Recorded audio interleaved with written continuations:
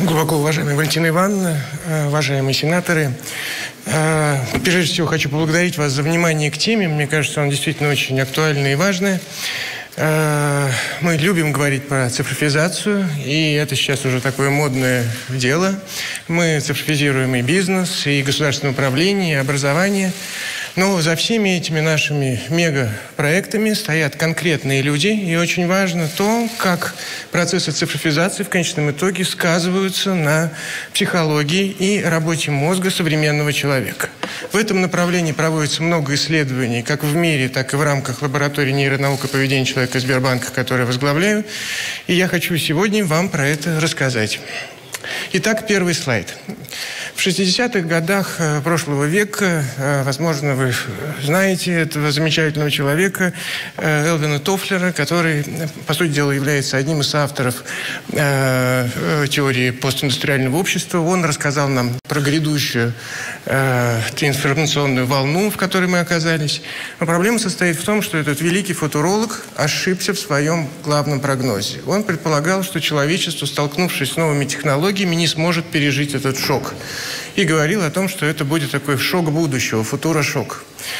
Э, это хорошее напоминание нам, что из настоящего, когда мы смотрим вперед и даже обладаем очень серьезными знаниями, немного и не все мы можем понять как следует. Э, кто мог представить, что развитие событий будет происходить следующим образом? Следующий слайд. 2000 э, год появились первые смартфоны. Это было совсем недавно. И мы думали, зачем нужны эти странные штуки. Сейчас ни один человек уже не может обойтись без этого средства. Более того, он испытывает тревогу, если окажется без собственного телефона. Следующий слайд, пожалуйста. Объемы информации, с которыми мы имеем дело, растут экспоненциально. И если 10 лет назад это было э, меньше одного зетабайта данных, то сейчас эти цифры увеличились в 50 раз, и эта тенденция только сокращается. Э, я хочу обратить ваше внимание, что это не просто абстрактные данные. Это данные, которыми мы обмениваемся с вами. Следующий слайд, пожалуйста. Ежемесячно мы обмениваемся с вами почти 10 триллионами сообщений и писем. Мы сделаем э, 105 миллиардов запросов в Гугле. Ежедневно мы постим 2,5 миллиарда единиц контента в Фейсбуке. Это огромные данными, которыми постоянно обменивается человечество. И это кажется странным. Почему так это стало для нас важным? И для того, чтобы понять биологические настройки этого механизма, я хочу, чтобы вы посмотрели на следующий слайд. Информация также важна для нашего мозга, как, важна, как важны и калории. Если мы хотим выживать, мы должны уметь идентифицировать в окружающей среде информационные стимулы. И получаем за это дофаминовое подкрепление. В результате мир страдает от ожирения, если мы говорим про калории пищевые, и мы должны сейчас уже говорить о информационном ожирении, которое поражает современного человека. Впрочем, э, вот эту пищевую аналогию можно продолжить и дальше. На следующем слайде я говорю о том, что мы на физическом уровне состоим из тех молекул, которые мы потребляем с пищей. Но на информационном уровне, на ментальном уровне мы состоим из той информации, которую мы потребляем. Это кажется, в общем, очень незначительной вещью. Но вот посмотрите на человека на следующем слайде. Ему в пище не хватало всего лишь одного элемента – йода, что превратило его в карлика, сделало его физически и умственно отсталым, э, сделало бесплодным. Вот что такое маленькое изменение в среде. А сейчас я вам продемонстрирую такое же изменение в информационной среде. Следующий слайд. Здесь вы видите э, два документа. Это научная статья по нейрофизиологии и Инстаграм Бузовой. Я хочу, чтобы вы посмотрели за собственным взглядом. Когда нашему мозгу предлагаются две задачи, задача попроще и задача посложнее, наш мозг эволюционно выбирает задачу попроще. Следующий слайд, пожалуйста. Будучи всего двумя процентами от массы нашего тела, он потребляет 20% энергии. Это очень энергозатратный э, орган. Поэтому эволюционно так сделано, чтобы мы максимально упрощали потребление и решение задач. И вот что получается. Создатели контента вынуждены соревноваться друг с другом, чтобы создавать все более и более примитивный контент. Таким образом, они могут выиграть внимание пользователя, потому что он не будет потреблять сложный контент просто из эволюционных настроек. И в результате мы имеем эскалацию примитивного контента, а как я вам уже сказал, этот контент определяет и нашу ментальную сферу. Следующий слайд, пожалуйста. По сути, мы с вами переживаем глубочайшую трансформацию. Мы переезжаем, можно сказать, пролетаем через кротовую нору из галактики Гутенберга в галактику Цукерберга. Из галактики текстов, то есть понятийного мышления, в галактику образов, где нет уже ни аналитики, ни логики, ни понятийного мышления. Э, ну, кто-то по этому поводу говорит, что это просто новая генерация людей, они будут более креативными. Всем, кто так рассуждает, я предлагаю исследование Кьюхи Ким. Следующий слайд, пожалуйста. Э, существует тест Торренста, э, это тест на креативность. Это тестируют детей для того, чтобы понять, насколько они креативны. Этот тест был создан 50 лет назад, уже 60, и за 50 лет у э, этой исследовательницы было 300 тысяч анкет, которые она смогла проанализировать и посмотреть, какова динамика креативности детей в разные периоды формирования информационного общества. И вот что выяснилось. До середины 80-х годов, когда происходил постепенный рост информации, ее доступности, креативность детей возрастала. Следующий слайд, пожалуйста. Середине э, 80-х годов в американском обществе э, стало доступно кабельное телевидение, и дети сели за телевизоры. В результате произошла стабилизация креативности. И уже с начала 90-х годов идет постепенное, но неуклонное снижение креативности наших детей. 85% детей в 2008 году, а это год, когда только появились айфоны, э, получили более низкие оценки по креативности, чем в 1984 году. Следующий слайд, пожалуйста. И здесь я формирую, формулирую вопрос, насколько вот это структурное изменение среды актуально для нашего мозга как такового. Следующий слайд. Э, это Маркус Рейчел, создатель э, современной, по сути дела, нейрофизиологии, э, потому что у нас сейчас появились возможности заглянуть в живой работающий мозг, чего мы не имели возможности делать раньше с помощью современных методов исследования. И мы выяснили, что мозг работает не так, как мы думали прежде. Здесь вот три э, уровня, э, вы видите, это три э, режима, в которых способен работать наш мозг. На нижней линии мозг, который работает во время потребления информации. Э, значит, вот сейчас вы потребляете информацию, и э, у вас активизирована эта центральная исполнительская сеть. В середине этого рисунка это мозг, находящийся в состоянии ориентации, и это с вами часто случается, когда вы оказываетесь в новом месте, вам нужно понять, как сориентироваться, куда двинуться, как расположиться там и так далее. Это сеть выявления значимости. И на самом высоком уровне смотрите, как горит этот мозг. Это мозг мыслящего человека. Проблема состоит в том, что этот человек думает ни о чем. Это синдром так называемого пустого листа. С вами такое часто случается. Вам нужно создать какой-то новый документ, написать какой-то отчет и так далее, и вы испытываете э, очень специфическое состояние чистого листа. Вы не можете взяться за работу. Но проходит какое-то время, и вдруг текст начинает сам выходить из вас. Что происходило в эти несколько минут, пока вы собирались с мыслями? В этот момент ваш мозг загружал именно вот в дефолт-систему все необходимые интеллектуальные объекты, из которых потом он и создает ваши мысли. Следующий слайд, пожалуйста. Э, раньше мы думали, что мозг организован локально, что есть отдельные зоны мозга, которые отвечают за разный функционал. Но сейчас мы понимаем, что это распределенные нейронные сети, про которые я вам сейчас рассказываю. Следующий слайд, пожалуйста. Э, в результате формирования этих нейронных сетей, по сути дела, у нас формируется тот сервер, который просчитывает информацию, которая хранится в вашем мозге. И чем лучше структурирован этот сервер, тем лучше вы будете думать. И процесс этот продолжается, следующий слайд, пожалуйста, до 25 лет. То есть до 25 лет нейроны связываются с друг другом в этот сложный конгломерат нейронных связей, который обеспечивает интеллектуальную деятельность. Поэтому не зря мы ограничиваем подростков и молодых людей в принятии решений, потому что они еще не способны к этому. Их нейронные сети, отвечающие за мышление, за структурирование будущего, еще не сформировались. Но это происходит в нормальной ситуации – Но наша ситуация ненормальна. Следующий слайд. Здесь вы видите данные лаборатории Касперского, которые свидетельствуют о том, что наши и американские дети, про европейских так сказать нельзя, до 10 лет практически 40% детей постоянно находятся онлайн. Это значит, что родители стали использовать гаджет, гаджеты в качестве бабиситеров. Они выдают ребенку гаджет, этот гаджет приковывает его внимание, и больше ребенок не перес... уже не функционирует во внешней среде и не создает социальных контактов, которые принципиально важны для него. К 14-18 годам и в Европе тенденция это э, продолжается, и весь мир, да, все подростки мира, 60-70% молодых людей практически постоянно находятся онлайн. А на следующем слайде данные лаборатории Касперского за последний год.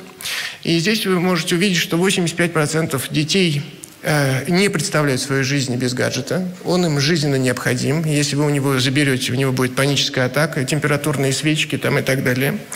При этом 92% взрослых родителей да, приучает своих детей к смартфонам и гаджетам с 4-5 лет – и, соответственно, э, социальные сети и прочие э, развлечения интернета становятся доступны еще для младших школьников. Больше 40% уже имеет свои аккаунты в социальных сетях. То есть наш мозг, который должен развиваться в естественной среде, развивается в среде цифровой, которая совершенно не предрасполагает к формированию тех нейронных сетей, про которые я вам рассказывал. Об этом следующий слайд рассказывает большое количество исследователей, но проблема настолько пугающая, что про это боятся говорить вслух и боятся выносить на какие-то серьезные трибуны. Я очень рад, что сейчас у меня есть возможность говорить об этом с вами. Давайте следующий слайд и поговорим, собственно говоря, про механику. Каким образом получается так, что наши нейронные сети, отвечающие за мышление, перестают работать при избыточной информационной нагрузке. Э, следующий слайд. Эшли Чен провела замечательный эксперимент, в котором показала, что вот те три нейронные сети, которые отвечают за мышление, за потребление информации и за ориентацию в, в окружающем пространстве, являются антагонистами. То есть, если мы с помощью специальных устройств подавим центральную исполнительскую сеть и сеть выявления значимости, ваша дефолт-система, отвечающая за мышление, активизируется.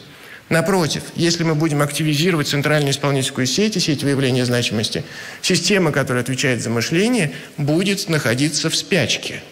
То есть постоянное потребление информации приводит к тому, что система, отвечающая за мышление в мозге, просто не функционирует.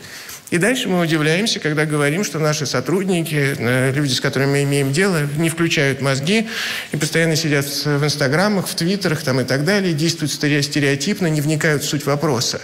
Не надо этому удивляться. Это новая тенденция, потому что их мыслящий мозг в этот момент спит. Следующий слайд, пожалуйста. К сожалению, этим проблемы не ограничиваются, потому что эти гаджеты стали для нас постоянной игрушкой. Мы словно бы постоянно смотрим того тигра, который скрывается, значит, в зарослях, и постоянно тыркаем вот этот свой телефон. Более 80, э, по последним данным, уже более 80 раз в день вы начинаете телефонную сессию, среднестатистический человек. А это значит, что время э, каждой телефонной сессии – это через 15 минут. Как выяснила Глория Марк, нам необходимо для того, чтобы мы смогли сконцентрировать внимание и загрузить интеллектуальные объекты, нам нужно 23 минуты. 23 минуты – это то время, которое необходимо для того, чтобы ваш мыслящий мозг включился – это ленивое существо. Он не хочет думать просто так. Он хочет работать стереотипно. Ему нужно время, ему нужна концентрация. И этого времени нет, потому что в этот момент мы залезем в телефон проверять, что же там случилось. Следующий слайд, пожалуйста. К сожалению, проблема эта вовсе не исчерпывается мышлением как таковым. Дело в том, что вот дефолт-система мозга эволюционно формируется в рамках социальных взаимодействий. Это доказал оксфордский профессор Робин Данбар. А, и мы с вами э, хорошо знаем, что коммуникация – это важная вообще вещь с точки зрения того, чтобы люди просто думали и соображали. Да, в аутичном состоянии это не может происходить. Но вот что происходит сейчас. Вы смотрите данные, это график Арика Сигмана, это британцы. Значит, и мы говорим, соответственно, по 87 и 7 год год, 2007 год. Значит, все начинается с того, что 4 э, часа в день люди смотрят телевизоры, экраны какие-то, и 8 часов общаются друг с другом. Э, значит, в 97 году прошел перелом, экраны заняли столько же времени в общении, сколько и другие люди. И в момент появления айфона в 2007 году общение лицом к лицу составило всего 2 часа в сутки, тогда как общение с экранами превысило 8 часов. Значит, все это приводит к состоянию, следующий слайд, который называется цифровой аутизм. Значит, наши дети перестали интересоваться друг другом. Они не проникают в внутренний мир другого человека. Они легко заменяют одного человека на другого, потому что просто не видят в нем никакой специфической ценности. Следующий слайд, пожалуйста. ну, в общем, может быть, это тоже новая реальность, но я, как психиатр, должен сказать, что эта новая реальность имеет свои крайне негативные последствия. Здесь вы видите драматический график. Это график корреляции между пребыванием в телефоне, в смартфоне и депрессией и суицидальными намерениями. Если человек пребывает э, в э, телефоне больше двух с половиной часов в сутки, Здесь вы видите перелом графика, растет его депрессивность и суицидальные тенденции. Ну, надо сказать, что кто-то таким образом прячет свою депрессию в телефоне, но для многих это является способом ощутить собственную никчемность, бессмысленность собственного существования, сравнивая себя с этой жизнью, э, находящейся по той стороне экрана. Следующий слайд, пожалуйста. Э, ну, кроме депрессии и суицидальности, все вы понимаете, что наши люди все сложнее концентрируют внимание. Э, израильские наши коллеги нашли замечательный, сделали замечательный эксперимент. Они сравнили людей, которые пользуются смартфонами, с теми, кто еще не пользуется. Оказывается, в наше время такие еще находятся. И если вы посмотрите на левый график на этом слайде, вы видите, что синдром, симптомы СДВГ, это дефицит внимания и гиперактивности, повышены у всех нормальных пользователей телефона по сравнению с теми, кто не пользуется смартфоном. Но куда интереснее вторая часть этого исследования, которая изображена на правом графике. После этого исследователи попросили тех, кто не пользуется смартфонами, пользоваться ими в течение трех месяцев. В результате выросло недоверие к окружающим. При этом выросло соглашательство. А самое страшное, что наросла агрессивность, наросла и агрессивность и негативное отношение к другим людям. Простое физическое использование телефона делает нас асоциальными людьми. Ну и дальше вишенка на этом безумном торте. Следующее исследование, это ОРТ и БОС, провел очень масштабное исследование, э, в котором э, значит, испытуемые, было несколько тысяч человек, заполняли тесты на мышление и креативность. Вся разница между ними... А, это предыдущий слайд, если вы можете вернуть. Да. А, Прошу прощения, я поспешил вперед. Э, все правильно. Значит, э, здесь показываем, показан дефолт-система. Это тоже важная составляющая. Возможно, вы знаете по своим детям, по своим коллегам, что у них сократилось так называемое дистальное видение. Они хуже заглядывают в будущее. Они хуже строят жизненные планы. Дело в том, что за создание этих жизненных планов, за представление и образ будущего отвечает та самая дефолт-система подавления, которую мы наблюдаем в нашей современной среде. Ну и исследование, следующий слайд, про который я уже начал рассказывать, у Орда и Босса, вот, в рамках которого исследовалось, как физическое присутствие телефона влияет на нашу интеллектуальную деятельность. Э, было три группы испытуемых, которые, как я сказал, заполняли тест на мышление и креативность. Разница между этими группами состояла только в том, где находился их телефон. В первой группе э, э, испытуемые оставили телефоны за пределами аудитории, в которой проходило тестирование. Во второй группе они держали телефон в обычном для себя месте, в кармане или в сумке. В третьей группе они держали телефон перед собой. И дальше вы видите графики подвижного интеллекта и оперативной памяти. Если телефон находится физически перед человеком, его оперативная память снижается, его э, подвижный интеллект, это то, что отвечает за вообще нашу интеллектуальную деятельность здесь сейчас, снижается. Простое физическое присутствие телефона. Почему это происходит? Это происходит по очень понятной причине. Наш мозг экономит Э, свои силы. И если вы знаете, что рядом с вами есть устройство, в котором есть все ответы, о чем вам волноваться и зачем вам это запоминать.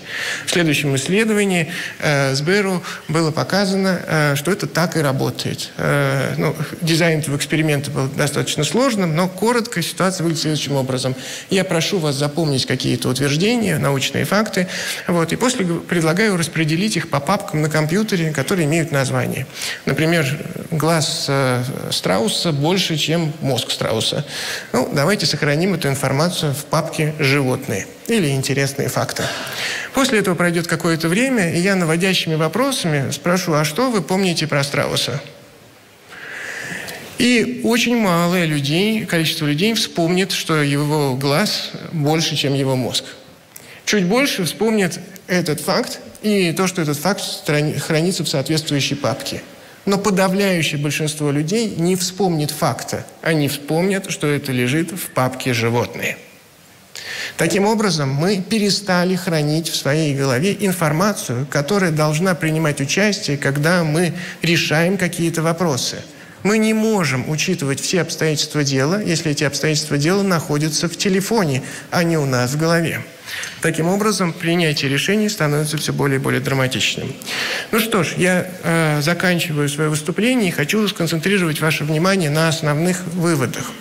Следующий слайд, пожалуйста. Значит, мы имеем несколько проблем с современным человеком.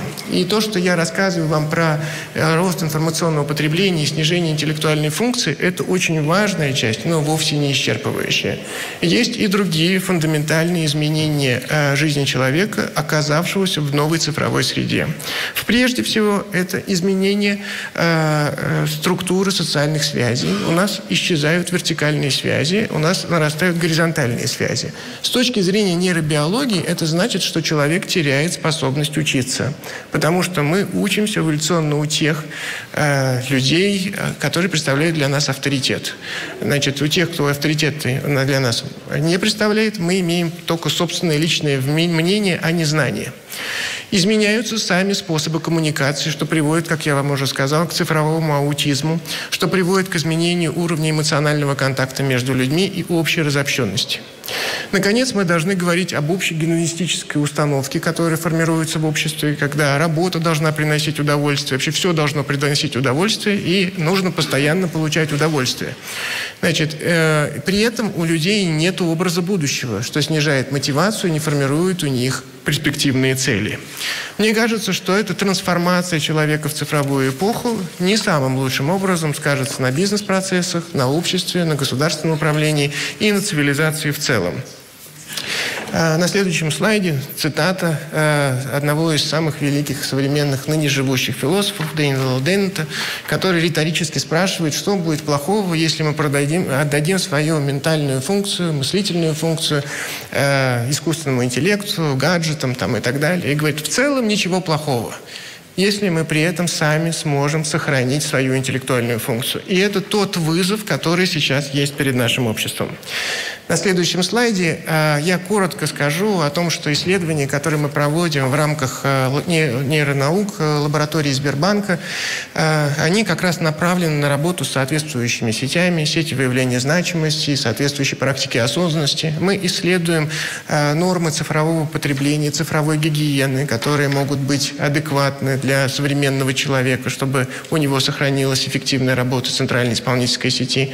Мы разрабатываем методики увеличения социального контакта и той коммуникации, которая позволяет делать мышление человека более системным и э, э, более системным и глубоким.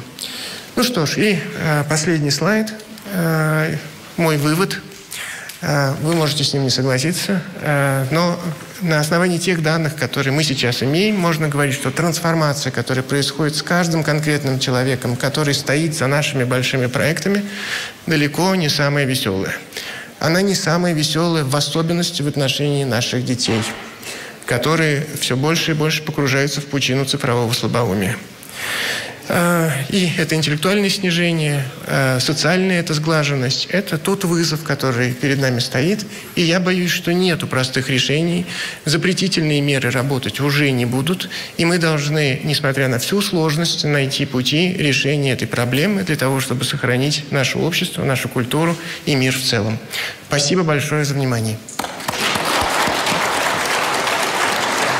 Уважаемый а, Андрей Владимирович, огромная вам признательность за ваши не просто очень интересные выступления, а практически важное, очень актуальное и, может быть, где-то в сюжетах критическую информацию, э, которую вы нам выдали, а поскольку здесь аудитория сенаторов, э, тоже важных людей, я думаю, что многое сказанного вами будет востребовано. Я бы хотел попросить вашего разрешения, если уважаемая аудитория не возражает, если Андрей Владимирович не против, э, ваше выступление и слайды сделать доступными для сенаторов на мобильных рабочих местах, в том числе для возможной ретрансляции ваших данных, ваших слайдов в наших э, аудиториях, в субъектах Федерации. Потому что вы как закончили, э, нам без объединения усилий, нам этих простых решений здесь нет, не, не, невозможно воспротивиться, тем более преодолеть те проблемы, которые вы обозначили. Договорились таким образом? Вы не против? Спасибо большое.